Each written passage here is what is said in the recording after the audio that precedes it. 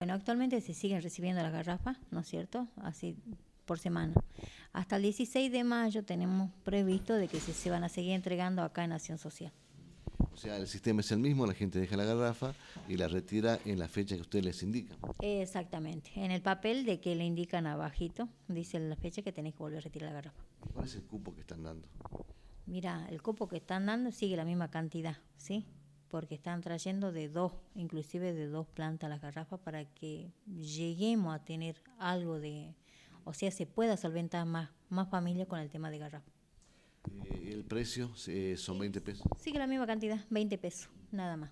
Pero la gente tiene que tomar, este, ¿no es cierto?, acercarse, preguntar en qué barrio van a estar, la gente de Nación recibiendo lo- los formularios, ¿no es cierto?, ya llenados, porque hoy día tenían en la Villa Tranquila a la mañana, a la tarde están en el primero de mayo, y así van a trabajar los lunes, los miércoles y los viernes.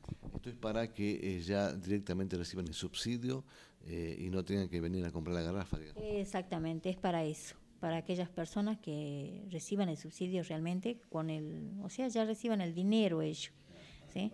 Para comprarle. Y aquellos que tengan que entregar el formulario es para el que no tenga plan de nación, algún beneficio de nación. Bueno, entonces este, van a estar eh, hoy en Villa Tranquila y a la tarde, ¿dónde? Para que la gente vaya. En el barrio Primero de Mayo.